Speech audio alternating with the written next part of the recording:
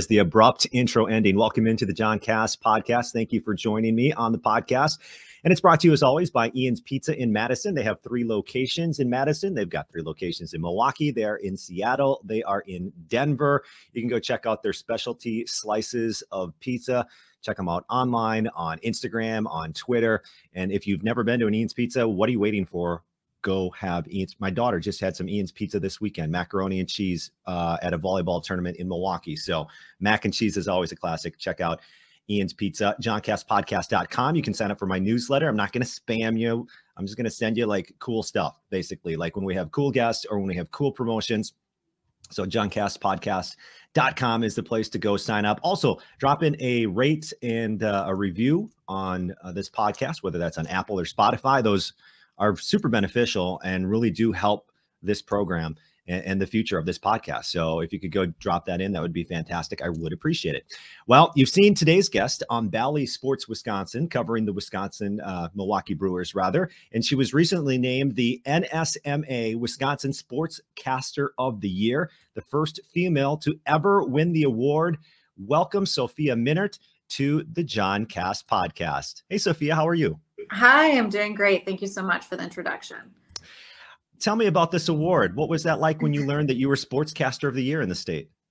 Um, honestly, it was a huge surprise. I, first of all, it was an honor just to be nominated uh, the class this year. And I think this just reflects so well upon like the sports market here across the state. Um, you know, to be with, you know, my teammate Jeff Levering with the Milwaukee Brewers and Lisa Byington, who does such an extra excellent job with the Milwaukee Bucks. And then some local people here like Dennis Krause and Lance Allen who have won in the past. Um, Jeff has won in the past as well. So I think it's just it speaks really highly. I think of you know the caliber of talented people that are across the state. So that's a list that like you're just happy to be on um, mm-hmm. when you're nominated with people like that. And then when they inform me that um, I won and that I was the first female to win it, um, I think that was an even bigger surprise. So obviously it's extremely humbling. Um, it was a huge surprise to me, but um, it's a very cool honor. Yeah, that is very cool. Almost all I haven't had Dennis Krause on the podcast, but I think I've had almost everybody. I had Lisa on, I've had Levering mm-hmm. on. Uh, who was the other? Fi- you said some, uh, Lance Allen. Lance Allen. Sorry, Lance. Yeah. I've had Lance Allen on, and now I've had you on. So I'm, I don't know, man. That's a that's a who's who of this state. I mean, but there are so that's the thing. Like there are so many yeah. fantastic broadcasters, right? Totally. And I think that's why it's so humbling. It's like, yeah, you know, you look across and I'm like, man, any of those people are absolutely so deserving to win. And then I think there's also so many people left off of that list that I think are just as deserving to win. I'm like, how's, you know, Brian Anderson, he's won, Matt right. Lepay, you know, it's like, yeah. there are so many deserving people. And, uh, you know, I consider myself really lucky that I've been able to work with a lot of these people um, in my time here in Milwaukee. So, yeah, I just I hope Wisconsin sports fans recognize that not just for me, but I think about that a lot. Like, man, how lucky are we that we have, you know, such great people covering whether it's Badgers, Packers, Bucks, mm-hmm. Brewers. Um, you know, for as much as Wisconsin people love their sports, um, I think it's it's cool that we've got really great people covering them. I mean, Bob Uecker should probably win this thing like almost Bob, every year, right? Call, yes, Bob. Like you know, he's won every award um, a million times, and he could win them all a million more times. I mean, you yeah. you can't say enough about what he does.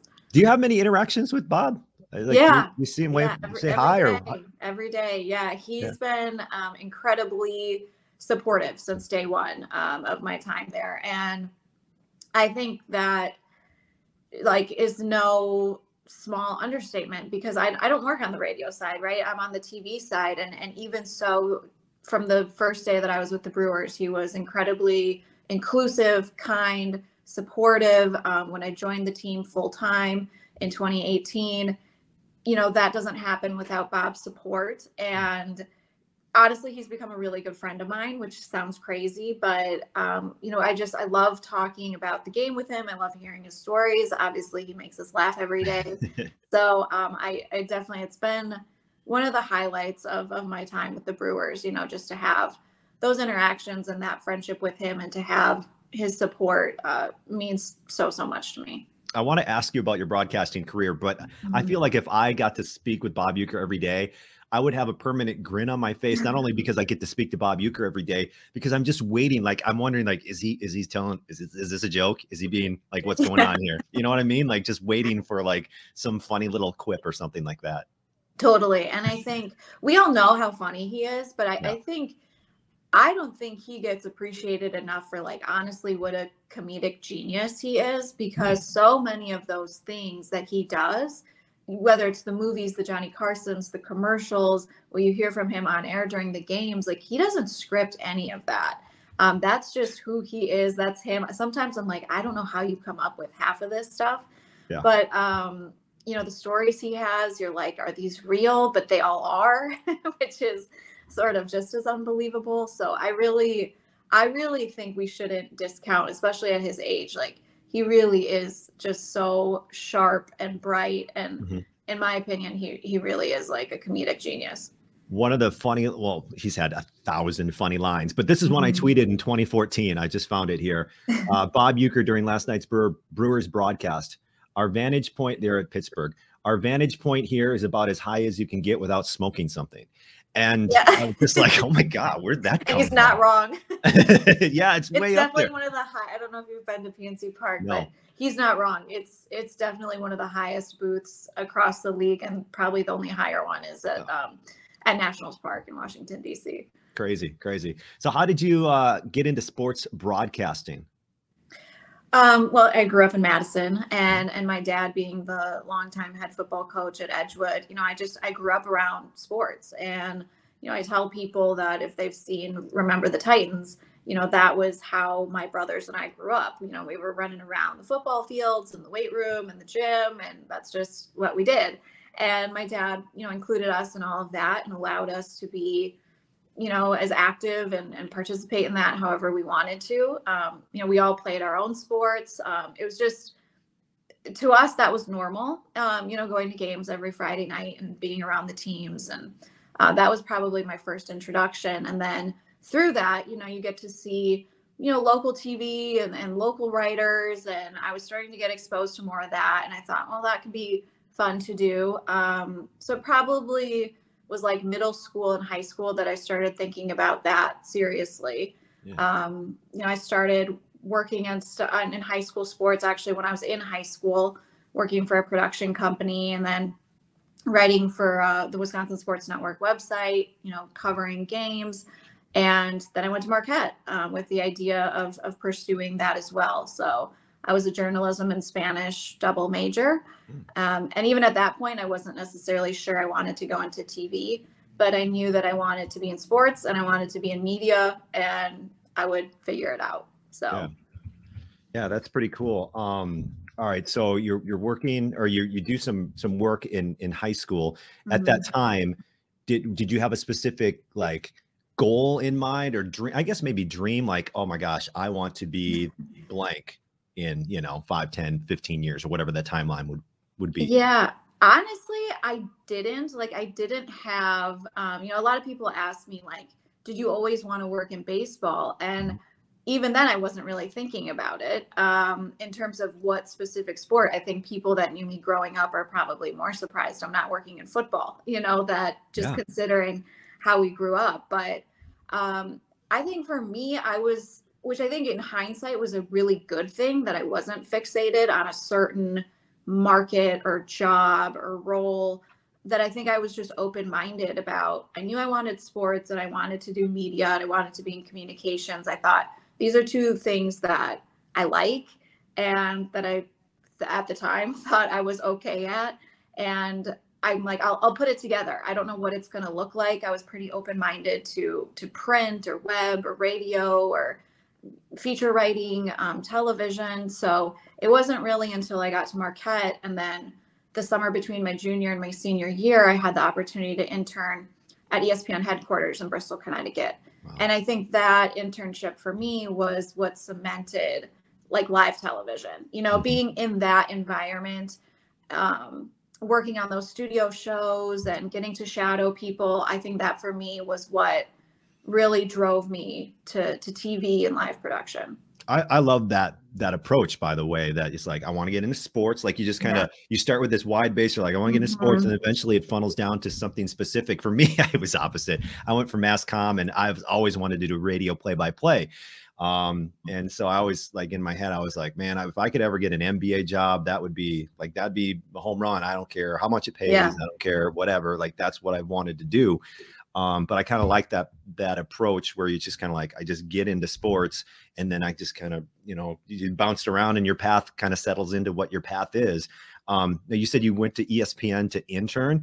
Like yeah. what what did you do as an intern at ESPN? What's that like? It was it was amazing, honestly. I, it's one of the best internship programs in the country, and I was really fortunate to meet um, one of the ESPN executives when I was a student at Marquette. They'd come to do an event there with students at the College of Communications. Um, and so I was there the summer of 2008, which was actually a, a pretty big summer to be there. Um, there was the Summer Olympics going on, and then it was also the summer that ESPN started transitioning to doing a live morning sports center which to us now sounds crazy because that's what we're used to. But you know, Sports Center used to only be a prime time program, and yeah. they would rerun it, you know, a million times in the morning. Well, that was the summer that they did that. So we were, I was in studio production. I was a production intern. So we were assigned um, different games every night that we were responsible for, um, you know, watching, logging the games, cutting the highlights, writing the scripts, turning those into the producers and the talent that were working on those respective shows.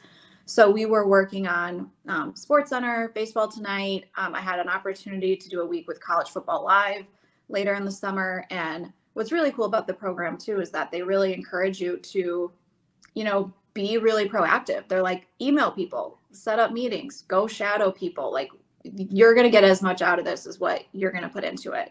So I, you know, shadowed a couple reporters. Um, one of them specifically, Wendy Nix, was incredibly kind to me and supportive. And I think I spent like almost a week with her. Mm. So um, that for me was great because just obviously that's a, a national stage um, but just seeing kind of behind the curtain how these shows come together to work with some of those people to talk to them about their paths um, was really cool. And i think for me just seeing that was like okay like live tv is is something that i think i really want to pursue. And that's, that's what i did my senior year.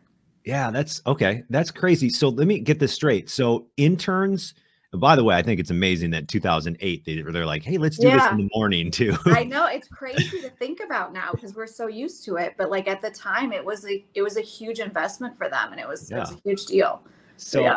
So so the the the talent will be reading intern copy like for scripts that you wrote like or do they kind of like look at it and go like okay hold on you know and adjust it probably they'll look at it but essentially like i mean you know if you're doing baseball tonight or if you're doing a, a, a primetime sports center, you know, a late night sports center, they don't have necessarily have time to right. watch all of the events, right? So that's why our job is like pretty important. And you know, there's a lot of production assistants that are responsible for this work as well. Of you know, you have to really be accurate with what you're doing.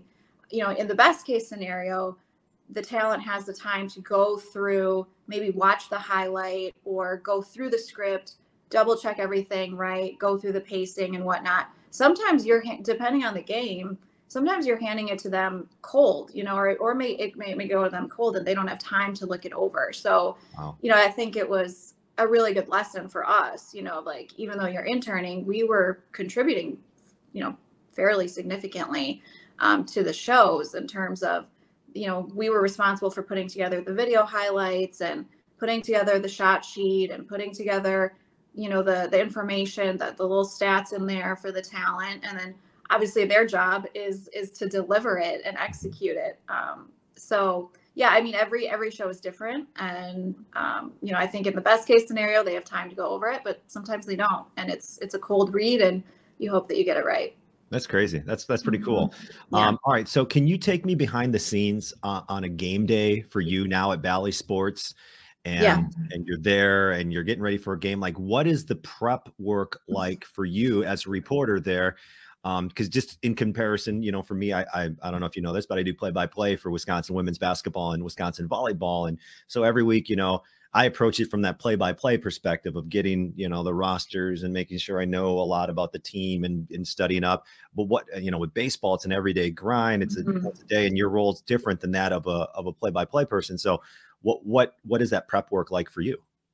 Yeah, I think um, you're totally right. Like you know, your kind of preparation when you're doing like a single game matchup, it's it's a lot of cramming, right? Because right. You're, right. You're diving into like a, a, new roster, and you're diving into matchups, right, and trends, and kind of what what is the you know the setup for this game. And i think for us it's a little bit different in that we've got a series right? So storylines can play out over the course of a series. Mm-hmm. and then i think also just with baseball so much of it of it is driven day to day you know? So I, I, guess at the start of a series I, I, always spend time looking at the opponent um, and then just kind of what's going on with them. Are there any significant injuries? Who are the starters we might see in the series? Um, have they made any moves lately? Stuff like that I'll talk to my the reporter on the other side if there's anything I feel like I want to know a little bit more about. Um, and then for us, you know, on on the home side, it's it's a it's a lot of similar stuff. It's like what are what are the series storylines coming into this? Is there any news of the day in terms of roster transactions, injuries? Um, I'm typically working ahead. Um, you know, you never in baseball, you never talk to a starting pitcher on the day of their start. Okay. So, for example, if if uh, Brandon Woodruff is starting game one and Corbin Burnes is starting game two, and then it's followed by Freddie Peralta in game three, I'm working ahead to talk to those guys maybe a day or two in advance of their start. Um, and I try to get them one on one. That can be talking about their previous start, maybe how the month has gone, maybe it's the matchup, the lineup, if there's anything health wise going on with them. Um, and then same thing with the position players. Um, you know it's it's what have they done you know maybe in the previous series the last week the last month are they working on things? Um, injuries of course roster moves drive a lot of the news for us on a daily basis. It's, it's honestly it's just a lot of talking to people um, yeah. because i think you're always looking for like my approach as a reporter in the game broadcast is what can i add? You know so they're going to cover what is happening in the game um, what's happening with the players. Rock's going to break down sequences, you know, all of that. So for me, it's like, what can I add? Is it something personal? Is it something that they were working on in early work with one of the hitting coaches? Is it a change that they made in their bullpen leading up to the start? You know, I, I try to kind of get in there and and add some of those details. Um, and you know hopefully it's interesting or entertaining or or something you know it, it adds yeah. something to the story. So honestly every day can look different um and that's kind of the fun of baseball too is like you can show up and things can happen before the game during the game um, that might dictate what happens the next day. Yeah yeah, that's uh, that's interesting. So when you're talking to to someone to try to get you know gather information for a report later on in a broadcast, are you like are you do you take notes? Do you record mm-hmm. them so you don't miss anything and transcribe it or listen back, or how does that process work? It's it's a combination of all the things. Um, I I, I like to try to talk to guys one on one if I can. Mm-hmm. Um, if not, you know, we do a lot of like kind of mini scrums with like the writers and I. We talk to Craig Counsell both before and after every game um, you know, I, I, might try to grab coaches on the side as well. So um, I, I do let the players know, like if it's a sit down interview or if I'm grabbing them one on one, I'll record it on my phone. Um, and I use an app that actually helps you transcribe it in real time. So then I can go back and go through the script and then kind of pick out sound bites I might want to use. Oh, that's awesome. Or, that's follow so cool. up on it. Yeah. yeah, it's, it's a great app. And then I also, I mean, I always have my notebook with me, like what reporter doesn't. So right. that report, the, the, the notebook and my phone are basically never out of my hand, um, unless there's a microphone in there. So it's a lot of juggling of all the three things. But yeah, I'm, I'm constantly kind of writing little notes to myself um, or, or recording things on my phone, and then I go back and listen to it. And that's what helps me pick out sound bites for our shows as well, mm. um, so that I've got recordings of all of that and sometimes it's even just notes of like, ooh, I, I want to follow up with this player on this for the next day, you know, or or that's a good question to ask Craig, or maybe um, you know, maybe Christian was talking about something in his early work and I want to go ask um, Connor Dawson about it, you know. So it's it's constantly trying to um, you know keep up with the information every day. Hmm. And so then when when you go on a broadcast uh, at Bally Sports, how do you determine like when they'll go to Sophia and mm-hmm. what the content well is that all is that more storylines too like throughout the game i guess some of that probably is right throughout the game if things happen then then yeah. they go to you for certain reporting but maybe some of the predetermined things is that how does that how does that get set up or how does that how do you guys figure out the content yeah. that will be on the air yeah that's a great question so like for our brewers live pregame show that's that's kind of a predetermined format that we collaborate with on our producers so you know it's that show starts 30 minutes before game time and so you know the booth will usually contribute something I will usually contribute a different storyline, or maybe it's a sit down interview with somebody. Um, and then, same thing, we've got 10 minutes to fill before first pitch. So, Booth will do a segment um, of our open, and then I typically do a segment of our open as well. And again, we're kind of at that point, we're just setting up the game. Um, and then, usually, kind of right away in the second inning, sometimes third inning, I'll do a storyline right off the top, whether it's news of the day, something we didn't cover in the open maybe it's about the starting pitcher. Um, you know, say it's Brandon Woodruff. Maybe we're I'm, I'm, recapping a conversation I had with him or something he was talking about before that start. And then within the game, like I send our producers an email essentially, and I, I include our announcers in that as well. Hopefully before first pitch, um, I send them a list every day yeah. of kind of like what my storylines are, what my topics are, of okay here are the the topics that i can cover within today's game. Whether it's news conversation um, something from a coach a stat whatever um, and then i coordinate with them of like maybe there's a graphic i want to help support it. If we have any video or photos to use to support it like for example if if uh, christian or one of the other position players is doing early work with the hitting coaches and i can add to that um, you know i might ask the truck okay can you clip off some of their early work. Okay, here's a look at earlier today. Hmm. Here's what they were working on. Hopefully that translates to the game. Um, so a lot of it's just honestly live. It's it's a lot of me talking to the producers in the booth during the game of like, hey, Willie Adames is leading off the next inning. I can add here, um, or hey, we're doing a pitching change. This might be a good opportunity to talk about the bullpen status or maybe a roster move. So the game will honestly dictate a lot of what we talk about, as you know. Um, yeah, you can do all you, you can do all this preparation. You think yeah. you've got it. You've got all these great ideas, and then the game, um, the game will will dictate otherwise. So yeah. you, you you know what that's like. Exactly. All of a sudden, the story. I mean, the game always will take over. It seems. Um, yeah. You ever, did you ever want to do play by play?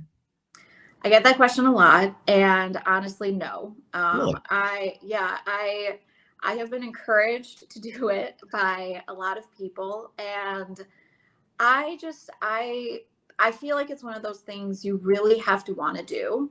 Mm-hmm. I personally just don't have that burning desire. I love love love to see so many more women get the opportunity to do it mm-hmm. um, across any sport and I think it's great. I think we need that representation. I, I, I love to see it. I hope more people continue to pursue it. Um, I personally just don't, I don't know, I just don't have a desire to do it. I have a lot of respect for that position um, of being the lead voice on the broadcast. And I've been really lucky to work with what I think are some of the best people across the country. Mm-hmm. Um, and Brian Anderson and Jeff Levering and Matt Lepay when he was working with us, um, and seeing how they work, um, how they prepare. Uh, it's it's great. You know, I, I, I consider myself really lucky to be able to do that. But I, I'm not gonna say like never, but yeah. um for now that's like not really part of my plan. Yeah, never say never, right? Never say never, yeah. Um, okay, I want to ask you about something that happened during your career uh, while you were reporting. You probably know where I'm going with this. this. you know exactly what this is. Um, at one point, uh, there's a there's a clip out there on YouTube, and you're you're reporting. You're holding the microphone. Mm-hmm. I'm not exactly sure what where you are. I think you're on the first base. Uh, first base, yeah. First baseline. Okay, and you're reporting, and all of a sudden, bam, out of nowhere, a baseball mm-hmm. knocks the microphone. I mean, it's right next to your face, and yeah. microphone goes flying. I think you pick up the microphone and you just keep going like nothing like nothing happened. It was it's the greatest clip ever. um, do you? But my I guess my question is uh, thoughts on that overall, and just kind of Yeah. the reaction people have given you throughout the years.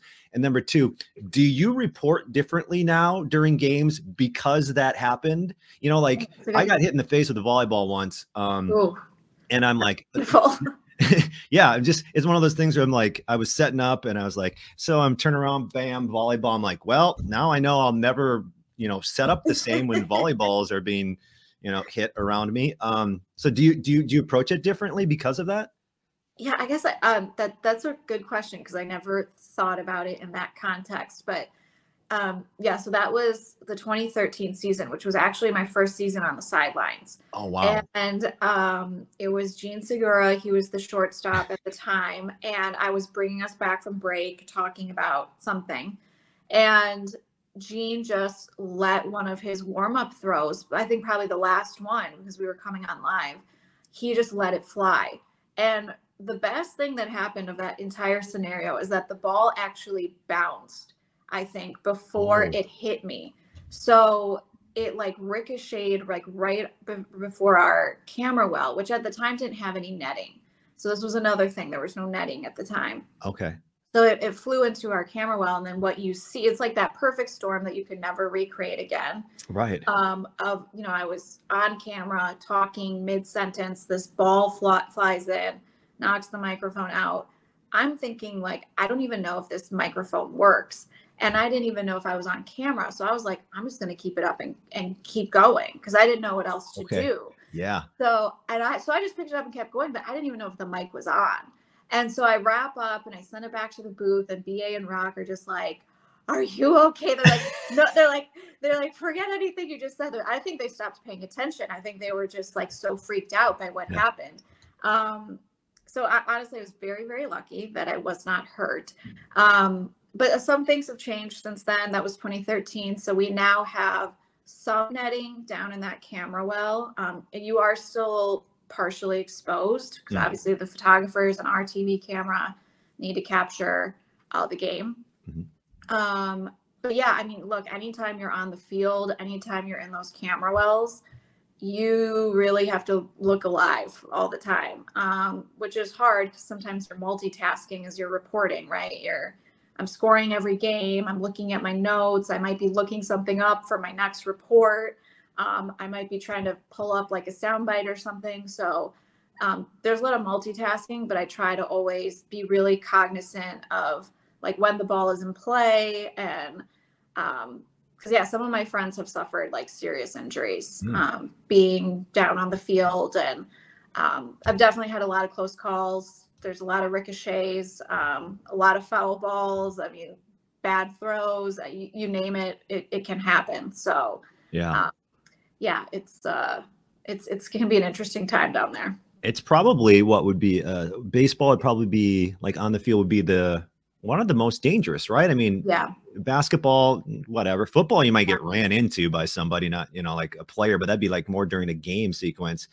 But man, it's it's yeah. probably and really football there's so much more room right like you Right, can right. spread out and you're mobile and i think with baseball what's hard is like you're so close to like basically our our positions are we're either on the home plate side or we're on the base side. Mhm. so either way you're really close to foul balls um, foul balls bad throws and and some of those i mean the speeds on these on these balls it's like crazy um, the exit velocity and how strong these guys are. So yeah you definitely have to um, be really careful when anytime you're down on the field Yeah. Um, from a report, I have a few questions. I want to ask you about the Brewers off season uh, Mhm. in a second. I know they they've signed some players through arbitration, avoiding arbitration rather.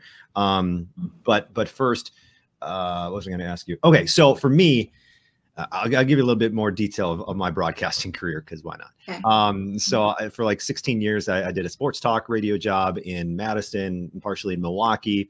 Um, and I did play by play for Wisconsin volleyball, later Wisconsin women's basketball. So for me, it's like a full time job. That was number one. And then I would prepare for my broadcast, number two. And, and, you know, depending on how much time left I had left in the week, because, you know, I have a life too. Wait, Um, that right. I would, uh, I would attempt to, you know, put the rest of my, my, my focus into that. Uh, I got let go from my job in June or July of 2021 and what I was able to do is I was able to like laser focus in on this play by play. And I Mhm. started adding things that I hadn't done in years. And I was like, oh, well, I can do better at this. You know, I can get better here. And then I just, you know, I, and I started thinking, you know, if I do one thing a month, two things a year, two, three years down the road, all of a sudden there are going to be more weapons in my arsenal of how I can Mhm. describe something or how, um, so that's what I've been really focused on over the last two seasons is just like, okay, how can I say this differently? What can I add to the broadcast? So I guess my question is, do you do those types of things or, or, or what are Mhm. you doing to try to, to get better and better? Um, because, you know, if you look at your career in the, in the long term, we're just, we're in like what the, the second inning, you know what I mean? Like you got a I lot, hope so. you got a lot left. So I- what are well, you doing yeah, to get better? I hope so. Um, yeah, it's crazy. So this is going to be my 11th season, um, which when I say that out loud, I'm like, whoa. Um, it just feels like a big number. Um, but I, I do think about like, I hope I, you know, I hope I've gotten better in that time. And I think a big part of it just comes from like preparation, repetition, like anybody else, right? Just building up experience, all different kinds of scenarios when things go wrong, um, when you have to like really, you know, ad lib or be on your feet and, you know, just perform, right? I mean, ultimately, that's what live sports is. Like at the end of the day, it's you have to perform, um, regardless of what role you're in. So, I, I do hope I've gotten better. Um, I think I I always ask for feedback, whether it's you know the guys that I work with, who again I have so much respect for, um, for how ridiculously talented they are in their roles. So like we'll talk about things um, about okay, well we could have done this instead, or like this was really good how we did this. Maybe this is something we should try to do again. Um, you know, this is you know maybe that didn't really work the way that we thought it would would like what should we try that again um and then i also i mean i love watching other people you know Mm. i i like I, and I, I say that to students or or people that are kind of just starting out as well it's like to like actively watch and listen right? To pay attention to okay how are they setting things up? How are they doing transitions? How are they um, asking questions? What kinds of questions are they asking? What kind of questions get the best responses? Um, i like you know so i i record everything. I, I like to go back and watch some things sometimes uh, that can be extremely humbling. Um, i think it's like i think it's personally it's like torture to go back. I don't know how you feel. I think it's torture to go back and like watch or listen to something but it's a good exercise to do because i think then you also become aware of any bad habits or bad tendencies or things you might be getting stuck on. So yeah i i'm always thinking about that um and it's sometimes hard to do just with like the volume of games that we have um i think that's also kind of the beauty of it of like okay if my open doesn't go great if i don't like how an interview went Mhm. you're sort of immediately forced on to the next thing. Um, and that's actually what Craig Counsell tells the players all the time. And I think I've heard it so often, I've like just applied it to myself. I don't think he meant the message like for me, but Right. um, it's true. You know, it's like we always kind of joke we're still waiting for our first perfect game.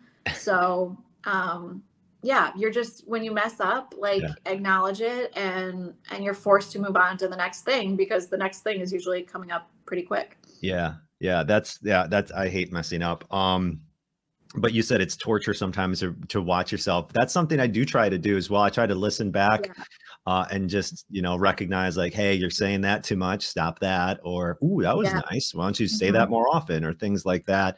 Or slow down. Or you're, you know, Yeah. uh, and I think that's, I think that's probably important. It's kind of like a player watching game film, I guess, in a way for broadcasters, right? It's just kind of like Totally. back and, and trying to see, trying to see where you can get better. So I'm all about that. Um, all right, let me ask you a little bit about the Brewers offseason moves. Mhm. Um, 10 players agreed to one year contracts, including, I'll just let me look through this list uh, Willy Adames, Ra- Rowdy Tellez, Keston Hiura, um, Devin Williams, Brandon Woodruff. Those are some big names still waiting on names. Corbin Burnes. Um, Mhm. Hopefully that can be resolved uh, shortly. Um, but what do you kind of think of what the Brewers? They haven't done much in the offseason. Um, Mhm. how is that going to translate? Because man, things get started and what are we at? It's going to be like a month, right? Or something. like a month. Yeah. it goes so quick. No, it comes up so fast. Yeah. I look, I think, I think everyone was disappointed with like how last year went, you know, to not making it into the postseason. And, and that would have been really cool to do it for a fifth straight year. Um, they finished one game out, which hmm. is, as I, I know for fans, that's, you know, maddening and frustrating. And you're like, oh, what if? And you know what could have and should have and you know all of that it's, you know why you know why it's frustrating too it's because it's baseball and they have 162 and you can go look back and you can find a dozen games in which you should have won because yeah. it's just mm-hmm. the oddity of baseball and there's so many opportunities and that's i think what makes it even more frustrating for that sport i'm sorry continue no but you're no but you're so right and i i mean yeah. you go back even before the postseason run the year before 2017 it was the same story they finished one game out of the final um, wild card spot. And so it was the, same story this year, right? They finished one game back of that final spot, um, which is hard. But I think for fans, it's also a lot of reasons to be optimistic. You know, the core of the team is back. They they did lose a couple regulars uh, in the offseason, like Kolten Wong and Hunter Renfroe. Hmm.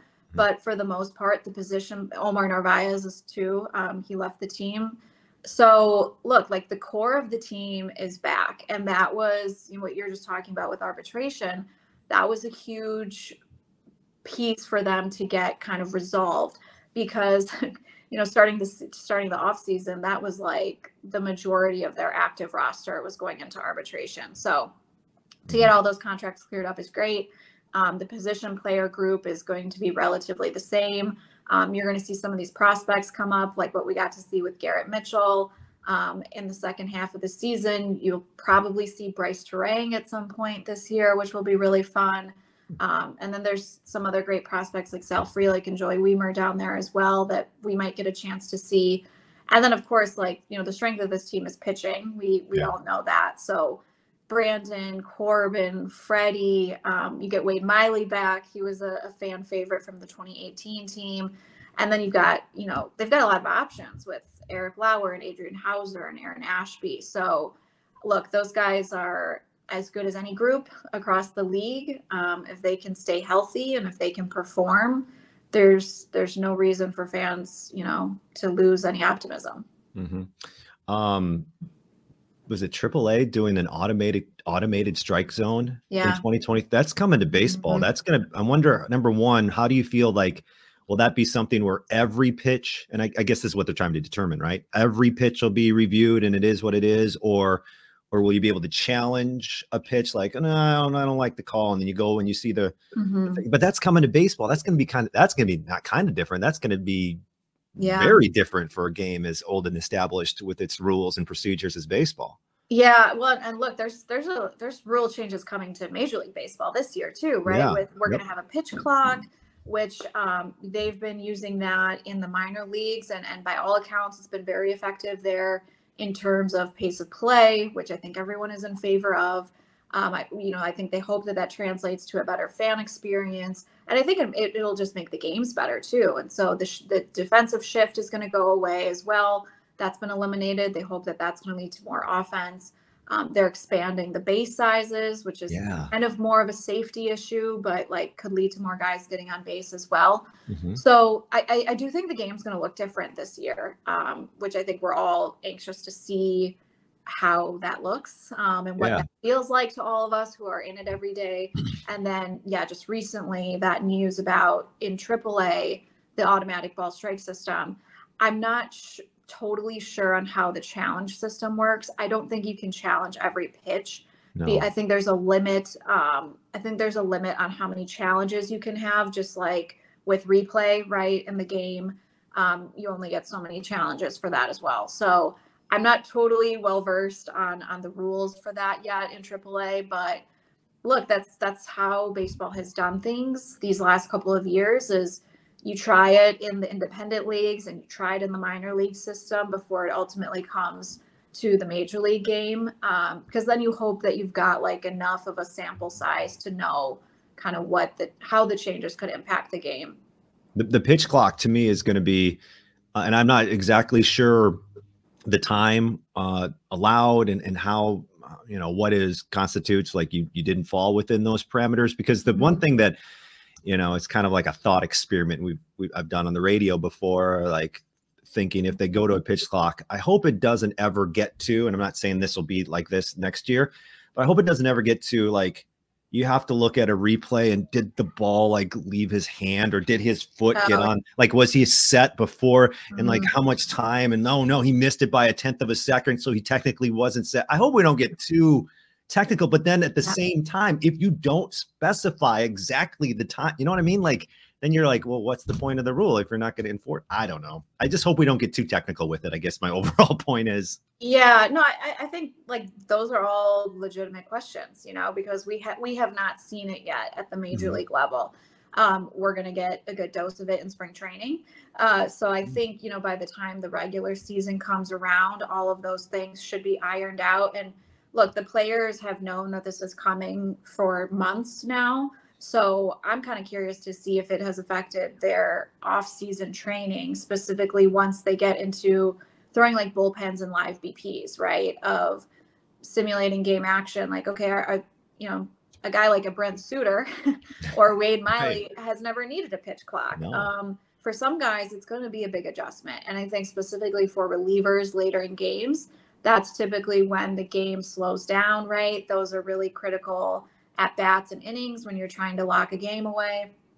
So I think that's when you most often see a game slow down or with runners on base. So um, I'm I'm hopeful. You know, I mean the, the the evidence is there that it has helped pace the play in the minor leagues. So I think it'll be kind of good to see that adjustment in the major league side. all right final questions for you sophia thank you once again for coming on the podcast Mhm. these are it's random question time Okay. some baseball some non-baseball We'll Okay. see, we'll see how it goes. So we'll start with baseball. Your favorite moment as a reporter covering a team? Is there a favorite moment? Oh moment? wow. Yeah, that's um the 2018 the game 163 at Ah, Wrigley yeah. Field. Yeah. Yeah, I think because that 2018 season was just so like magical. I know that sounds corny, but just how that whole season played out, kind of this wild run in September, and, and kind of Christian locking up the MVP, and and then tying the Cubs, right, who had been like the top of the Central since that World Series run, and and to win 163 at Wrigley and in baseball terms, relatively convincing fashion uh, was just so awesome. Like, it, and it was the start of what we saw the next couple seasons. So I'll Mm. always remember 163. Okay. 163. Good answer. Uh, what was your favorite game, like recess game or FIAD game to play in grade school? Oh my God. Um, I'll go first. Kickball. It was Okay, the kickball, it was just the one. best. It's always in southern Minnesota. We were playing kickball every recess, man. okay, kickball. That's a good one. I'm gonna go with four square because I remember we had a bunch of like those four square games, like spray painted on the cement in like the playground. So yeah, I'm gonna go with that one. I feel bad. I missed Foursquare. I never played Foursquare as a Oh. kid. My daughter, like, you know, during the summer, she's like, let's play Foursquare, drawing it on the thing. I'm like, I don't know what I'm doing, but okay. I've seen kids at her school play before. I feel I feel like I missed out not being able to play Foursquare. You did. I did. Uh, best social media app. I like Instagram right now. Um, you know, Twitter's obviously gone through a lot of changes, and I think Instagram, you can. It's fun to follow people. Um, it's got its own issues, but I think you can get a mix of like news and entertainment, funny memes, sports highlights. Um, I think you can you can kind of get a lot uh, in that app. So Yeah, I I hate them all. Um, that's fair. I mean, depending on the day, that's probably the right answer. but you're right. Instagram probably is my favorite too. Twitter is just Twitter and Facebook, man. I, I find myself going down rabbit holes that I, I- catch myself going, I don't need to be here. I'm not. I'm not in this argument. Yeah. Bye. You know, and I have Yeah. to leave. Um, so I'm not on TikTok yet. I don't know. I probably got all my information on my phone anyway now, but I just I don't know. Instagram for me probably because it feeds me dog videos. Yeah, And exactly. so I'm like, I'll Exactly. I'll go to the place with the cute dogs, I guess. Um, would you quit social media if I gave you a hundred thousand dollars a year? Oh man. Um I would love to. Listen, I would I would love to quit, but unfortunately, like in these jobs. You know, it's Mhm. sort of a necessary evil of, um, you know, obviously it's like sharing content, but also I think just as importantly, like consuming content, right? Of what other teams and media people and highlights and what's going on and all that. Like there is some value to it. Um, so can I uh, retire first and then I'll take you up on your offer to quit Yeah. social media? That'd be the best. I mean, because Yeah. you grew you grew up probably what you say 2008? You were an intern, um, so you grew up in 2000s, late 90s. Am I- yeah. right? mhm, Yeah. So you you were kind I'm of. Technically a millennial. I'm the dreaded millennial. Um, oh, okay. So yeah, but that's actually kind of funny because like that was how I started at Fox. Well, Fox Sports Wisconsin at the time was social media. Like people kind of forget Oh, that okay. that I was started out doing. Mm. I basically helped launch like their their Facebook, their Twitter, their Instagram because all those things were relatively new and they wanted the broadcast to start incorporating yeah. these social media elements, but they didn't really have a plan for how to do that. So when I first started with the Brewers, that's what I was doing. I was doing social media content Okay. um, for the network, and and then I started. That's what I was contributing to the broadcast before I was ultimately reporting.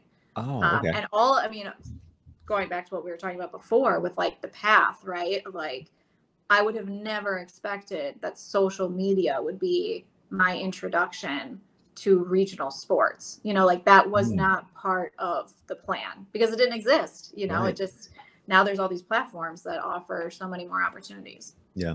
Uh, my dream is to go back to the 90s when I could not have to be bothered by anyone and I just did stuff, you know? And if someone Yeah. wanted to talk to you, like you'd eventually get around and you'd give them a call. But it wasn't like the second they wanted to talk to you. Now I stop everything I'm doing and now I'm on your time. I, I, I sometimes want to go back to the 90s. Um, two more things. Best TV streaming service.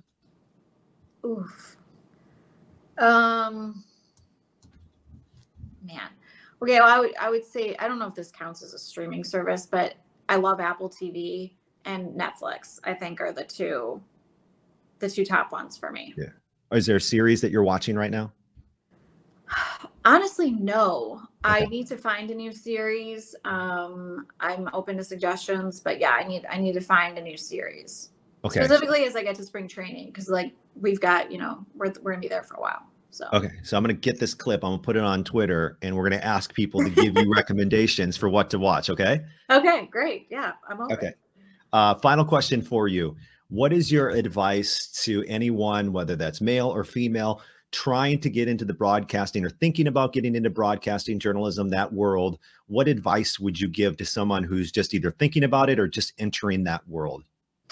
Um, well, first would just be to like say yes to as many opportunities as you can, because I think that when you do that and you expose yourself to a lot of different things, even things that you think you might not be interested in, um, you figure out pretty quickly like either yes, I do like to do this and I want to do more of it, or what is just as valuable in my opinion is to also rule things out. You know, to be like, mm, that's not for me. I don't like it. Um, I'm maybe more interested in this other area. I think there's a lot of value in that. So I think just saying yes to as much as you can, um, commit to it. You know, it's not easy. Uh, the hours are crazy.